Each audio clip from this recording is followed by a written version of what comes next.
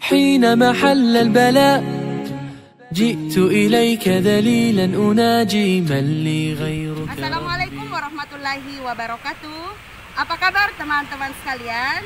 Perkenalkan, nama saya Mardiana, mahasiswa pasca sarjana program studi pendidikan anak usia dini.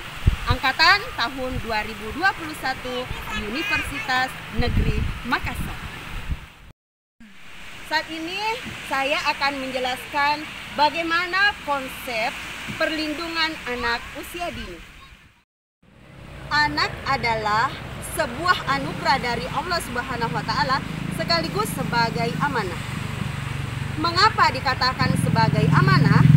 Karena dia harus dijaga, dilindungi dari kecil sampai dia menjadi seorang dewasa. Nah, ketika sebuah pertanyaan, kapankah anak tersebut mendapatkan haknya? Di dalam sebuah peraturan perundang-undangan dikatakan bahwa anak tersebut mendapatkan hak dimulai dari nol di dalam kandungan, nol bulan di dalam kandungan sampai umur 18 tahun. Mengapa mengapa pemerintah sangat memperhatikan hal ini? Karena anak ini adalah generasi yang akan melanjutkan perjuangan bangsa ini. Kita menyebutnya adalah generasi emas yang akan melanjutkan nahkoda perjuangan agama, bangsa, dan negara.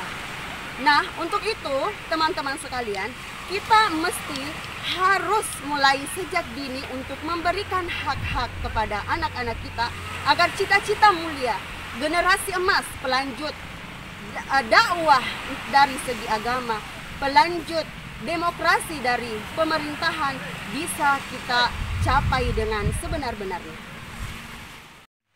Teman-teman sekalian, upaya perlindungan hak-hak anak di Indonesia telah diakomodir di dalam Undang-Undang Dasar 1945 tepatnya pada pasal 28B ayat 2.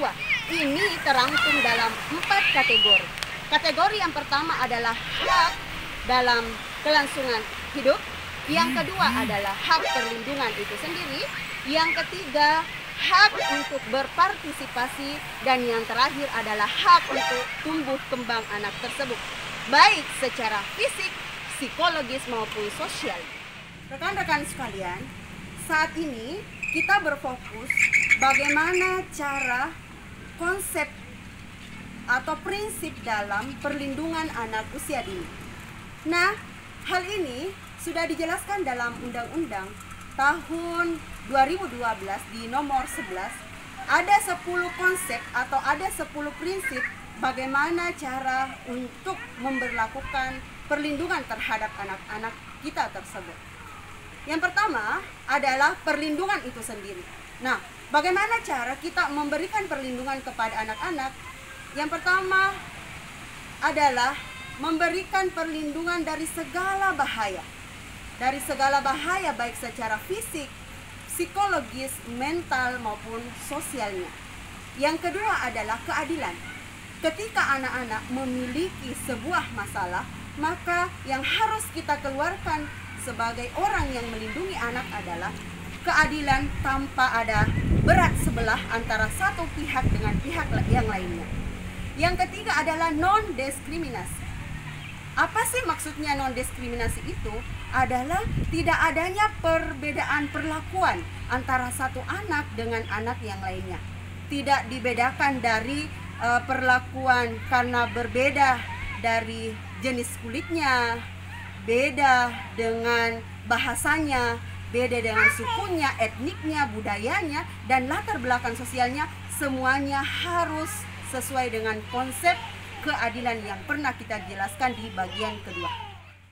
Prinsip yang keempat adalah mendengar pendapat anak. Meskipun dia masih anak-anak, tetapi kita sebagai orang tua, masyarakat berhak untuk mendengarkan pendapat apa yang dilontarkan oleh anak-anak. Prinsip yang kelima adalah yang paling esensi adalah tumbuh kembang anak. Yang prinsip keenam adalah perlindungan terhadap segala hak asasi yang berhubungan dengan kehidupan anak-anak. prinsip ketujuh adalah pembinaan dan pembimbingan anak.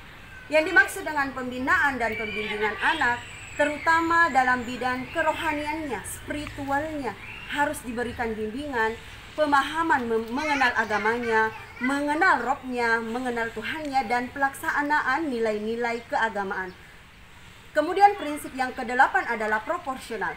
Yang dimaksud dengan proporsional adalah ketika kita memberikan perlakuan kepada anak-anak, maka kita harus proporsional. Kita harus melihat kondisinya anak bagaimana, kita uh, mengetahui bagaimana uh, keadaannya, kemudian batasan umurnya sehingga kita bisa seadil-adilnya memberikan perlakuan sesuai uh, hukum-hukum yang berlaku. Prinsip yang kedelapan adalah tidak mengganggu kebebasannya. Dan yang terakhir yang ke-10 adalah menghindarkan anak dari sebuah pembalasan pidana. Nah, rekan-rekan sekalian, itu ada 10 konsep bagaimana kita melakukan penjagaan perlindungan terhadap anak-anak usia dini. Nah, terima kasih teman-teman atas perhatiannya. Semoga apa yang saya paparkan ini bisa bermanfaat untuk diri saya dan teman-teman sekalian, terutama sebagai orang tua, masyarakat, dan terlebih lagi yang ada di dalam pemerintahan. Semoga bermanfaat dan kita akhiri Subhanakallahumma bihamdi asyhadu an la ilaha illa anta astaghfiruka wa atubu ilaik. Assalamualaikum warahmatullahi wabarakatuh.